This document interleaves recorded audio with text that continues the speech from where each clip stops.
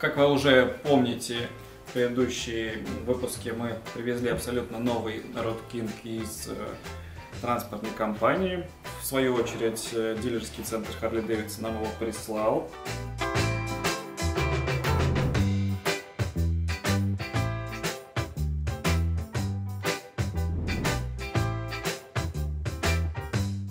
Делается он для нашего друга, который приобрел, собственно говоря, этот мотоцикл.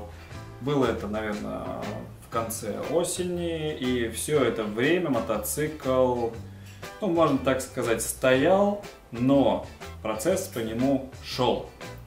На него было сделано 23 переднее колесо. Привет, вы на канале Бурмейстерс, и сегодняшняя серия посвящена технической части мотоцикла Road King 2020 года выпуска. Из того, что сделано, за этот период был изготовлен руль.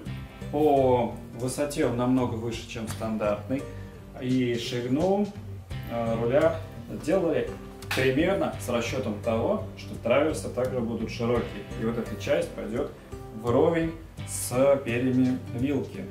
Диаметр 44 миллиметра трубы. В ней будет запакована вся электропроводка, ручка газа, все шланги и так далее. То есть это будет чисто голый руль, без всяких каких-либо видимых тросиков и так далее, хомутиков. В общем, все будет он спрятано, будет он гладкий, чистый, классный. Что касаемо по передней части, как я сказал уже, 23 каток нам ребята бокс 39 выточили. По э, ширине траверс это колесо, конечно же, сюда не лезет. И сейчас я вам покажу, и мы сравним вместе с вами, в чем разница родного колеса и нового. Поехали! Вот что мы имеем? Два колеса это родное 19 с резиной размером 120 на 60 на 19.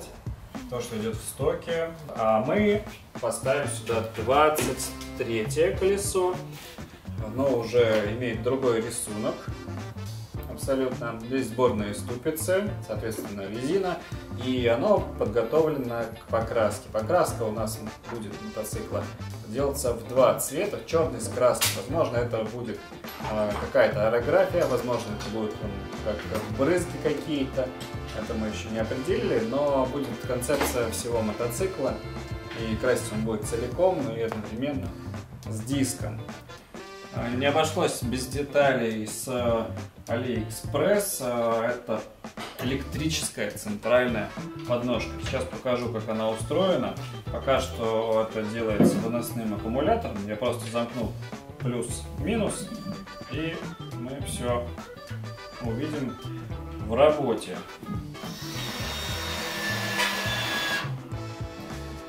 Вот, но поскольку это AliExpress, у всего есть свои минусы. И подножка до конца не может выдвинуться. Дальше, если я руками доведу, она должна доходить до такого размера. Поэтому доработать напильником придется, как обычно, все детали оттуда.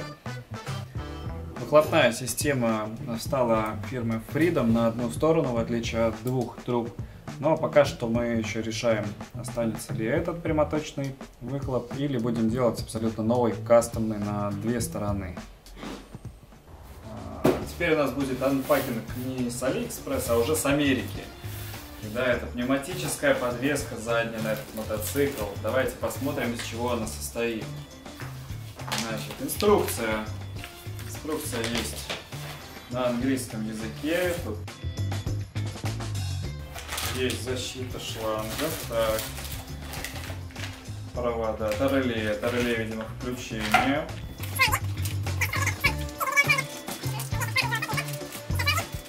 Так, это у нас предохранитель на аккумулятор. Заглушечки винтов даже есть.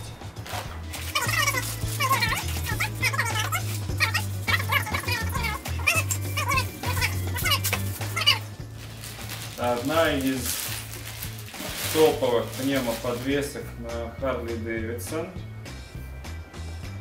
Значит, вот здесь вот можно делается, и она с внутренней системой то есть вот фокус еще. То есть это пневмобаллон, но внутри у него есть еще амортизирующая гидравлическая часть, как заявляет сам производитель.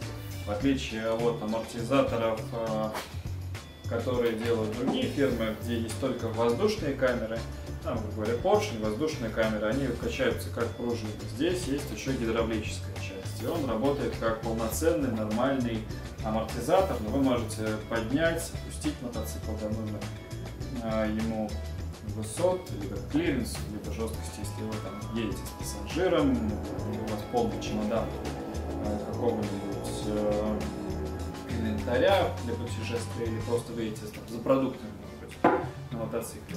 Очень удобно.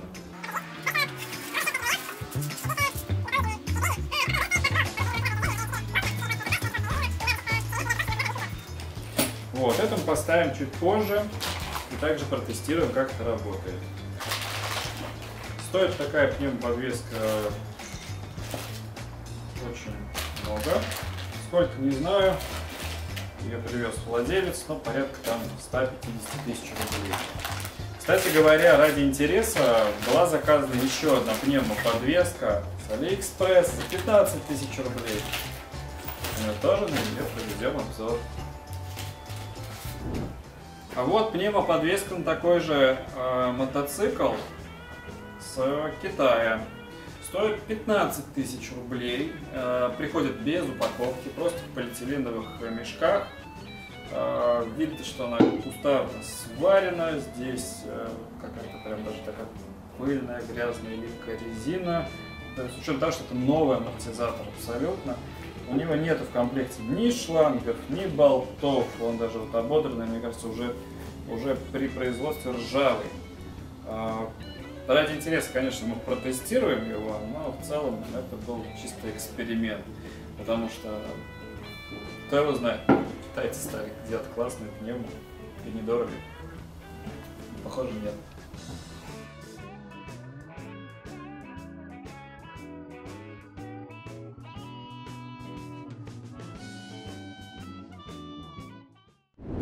В общем, задача сегодняшнего видео, чтобы в конце мы смогли протестировать мотоцикл на этом колесе, посмотреть, какие ощущения мы получаем от управления 23-м катком, ну и в целом, что из этого получится, как это будет смотреться.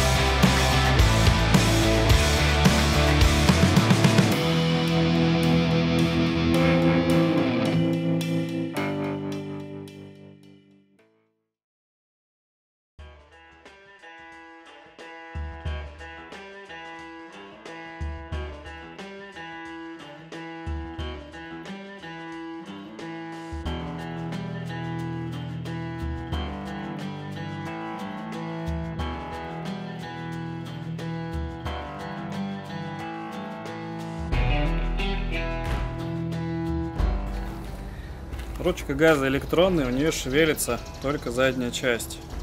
Ну, или с краю, которая стоит. Вот, поскольку провода сейчас в руль пихать не буду, а прокатиться надо будет протестировать, я эту ручку газа просто привяжу вот сюда и буду шевелить сам кончик, чтобы ехать. Это временный тест-драйв. Надо посмотреть, э, как будут вести себя наши мосты вот этим углом.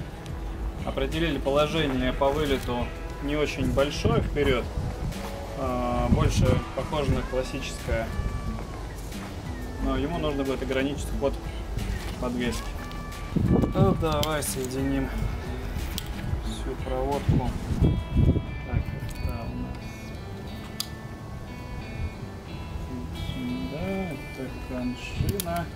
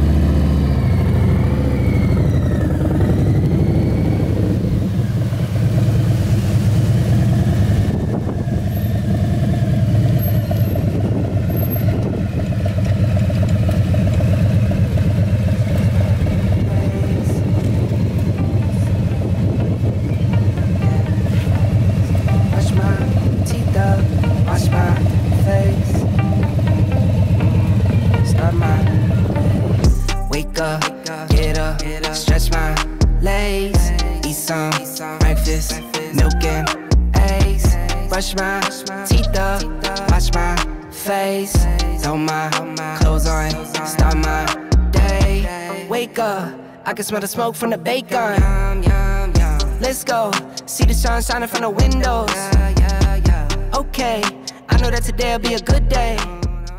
По тест-драйву что могу сказать? Все классно, угол хороший, даже с таким газом все супер. Единственное, то, что мне не понравилось, покрышка Avon Cobra, она задняя. Переднюю мы такой не нашли, это покрышка на 200, нужна на 180 и 200, и она такая квадратная стала.